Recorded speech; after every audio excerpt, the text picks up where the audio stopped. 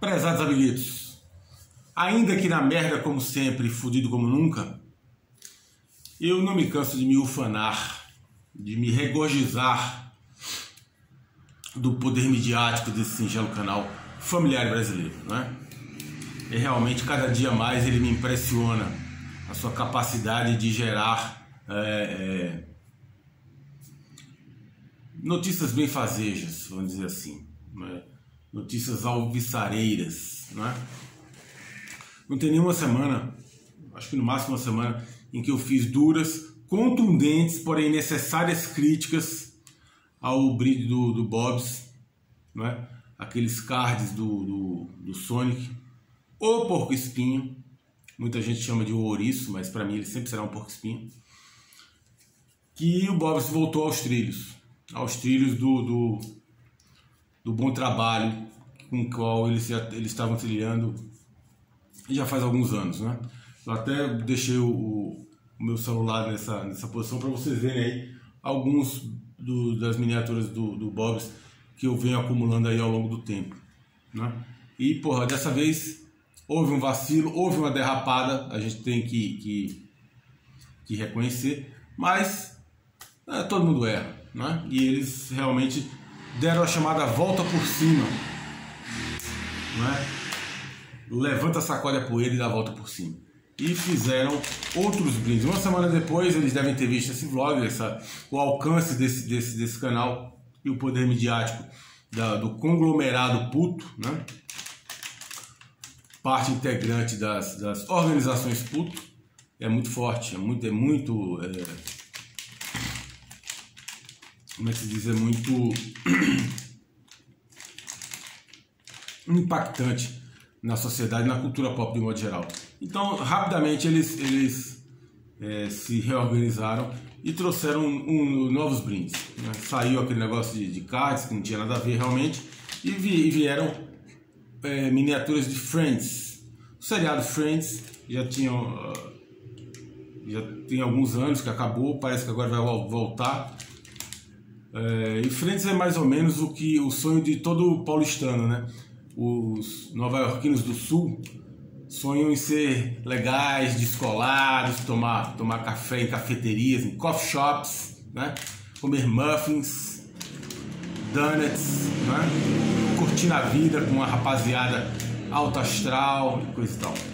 E Friends sintetiza esse espírito é, nova-iorquino do sul Acho que também nova-iorquino do, do norte, né? Mas aqui especificamente eu só conheço os nova-iorquinos do sul, conhecidos também como paulistanos. Eu só comprei um, cara, porque eu nunca gostei muito do, do seriado Friends. No começo até assisti e tal, mas eu rapidamente ele me cansou, porque é muito monótono, era muito repetitivo e, e eu não sei, aquele cara, o, aquele chorão, o, o uau mais alto, Puta, que cara chato, bicho. Que coisa insuportável. Era muito estereotipado, né? Aí tinha aquela FIB. Não sei se vocês já perceberam. É, eu acho que o, o, outro também fazia isso, o Tribbiani, né? O, o italiano. Que esses personagens são meio bobos, eles são meio. Eles começam meio ingênuos, né? E aí, conforme a série vai se desenvolvendo, vai esgotando as possibilidades. Aí o cara passa de ingênuo para um completo imbecil. Rapidamente, assim, às vezes uma, duas temporadas, tipo, tipo aquela Magda do, do aquele seriado Sai de Baixo. Ela começa de um jeito e começa. Algumas temporadas depois fica um negócio absurdo. Uma coisa, sabe, é, é, pouco crível, né? Aquele Sheldon também, do, do é, Big, Bang, Big Bang Theory, né? E é muito chato esses, esses mais estereotipados assim, eu não, eu não gostava. Por exemplo, se, se isso aqui em vez de ser Friends fosse Seinfeld, porra, aí eu comprava todos os personagens. É, principalmente o, Newman, que era o meu favorito. Mas vamos, abrir aqui. Eu peguei só a, a, Mônica porque eu acho eu achei mais legal. Que ela vem com a, a roupinha de cozinheira. Não é? Olha só. E o próprio pessoal até inovou também com a coisa do, do, do estilo do bonequinho, né? Bob tinha um estilo mais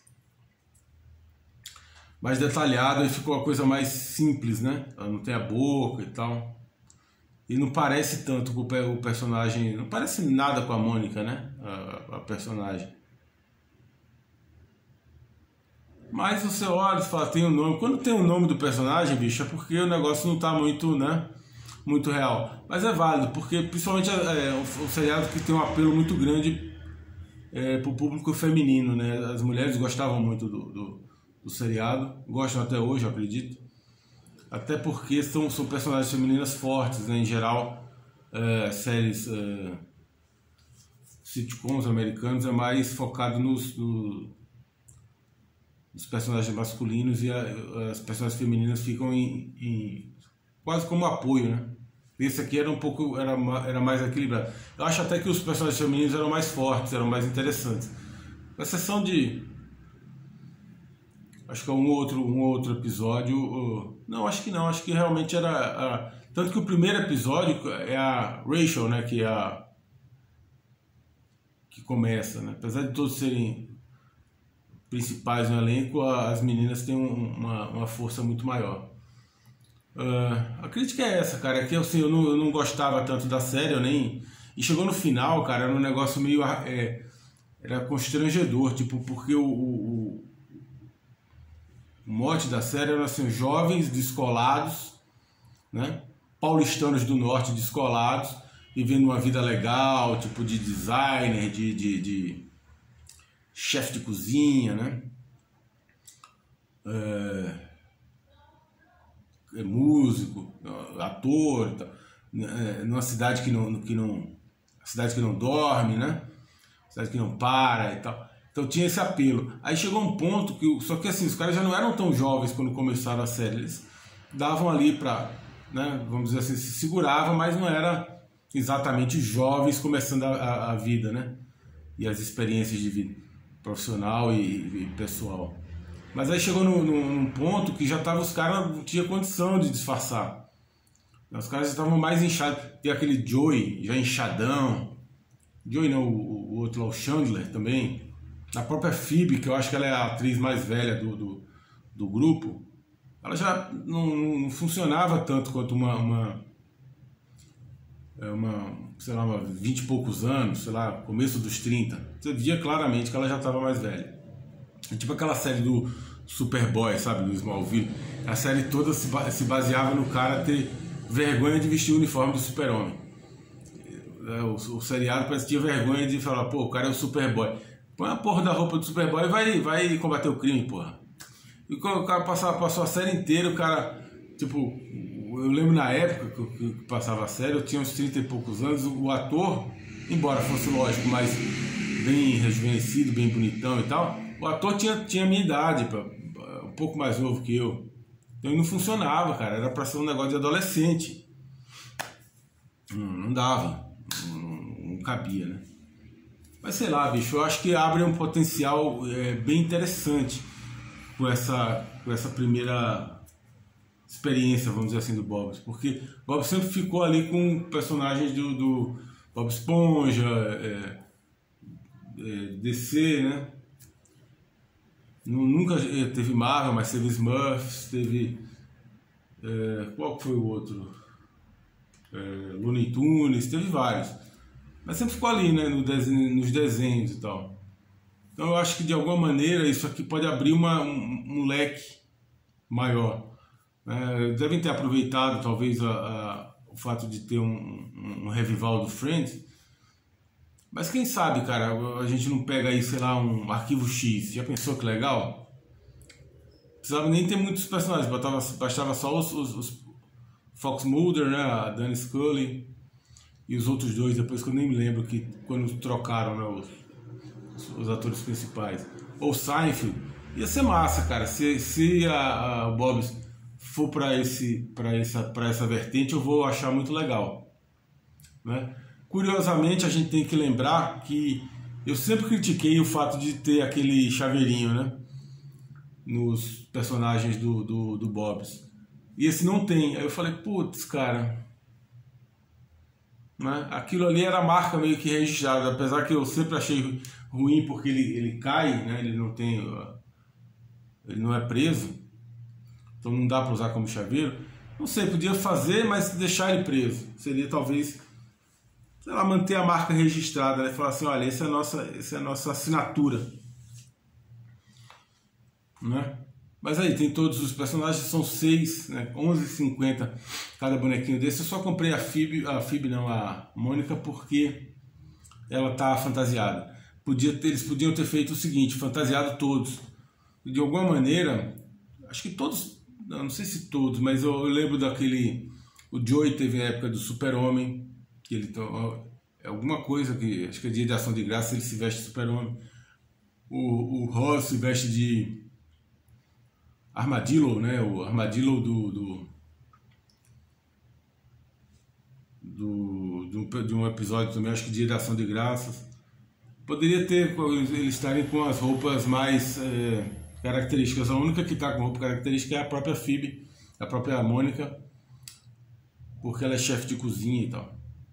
Já percebeu que para ser chefe de cozinha hoje você não precisa saber cozinhar. Você precisa saber o quê? Você precisa, você precisa ter umas tatuagens legais, aqueles negócios na, na, na, orelha, aqueles alargadores na orelha, né? um cabelo transado. Né? Isso é importante, você não pode nem imaginar e você entrar numa cozinha, fritar um ovo, se você tá com o braço todo tatuado, amigo. Ou você cobre esse braço, de preferência as mãos também, né? o pescoço, ou você nem, nem, nem, nem tente, tá? Entrar na cozinha aí para fazer um, fazer um pão com ovo. Não dá. A gente, tem, a gente espera um pouco mais. Né? Aliás, esse lance de alargador, eu estou esperando para ver o, e, e, aquele negócio no nariz também, umas, tipo umas argolinhas no nariz. Tô esperando para ver a volta dos botocudos, cara. Saudade eu tenho dos botocudos. Né, que eram aqueles índios que tinham uma, uma tabuinha aqui, ó. Sumiu aqueles caras, né, velho? Nunca mais a gente viu. Desapareceram aí, ninguém fala mais. Cadê os botocudos, porra? Eu, na época que começou o negócio de alargador, eu falei, pô, primeiro começou o negócio da, da do nariz. Aí depois veio esse negócio de alagador, já tem uns, uns grandões assim. Eu falei, logo, logo vai ter os botocudos. Questão de tempo aí, alguém vai dizer, porra, e aqueles caras com aquela sabinha, vamos fazer também? Mas não, não veio, o botocudos não veio, não, não, não, pelo menos não vieram ainda. Quem sabe esse vlog aí daqui a alguns anos seja uma é, o prenúncio de uma nova era, a era dos os caras com alargadores, tatuagens, um, um uma tabuinha aqui no, no, no né, no lábio, fazendo aí um, um, um, um petit gâteau, né? Abraços.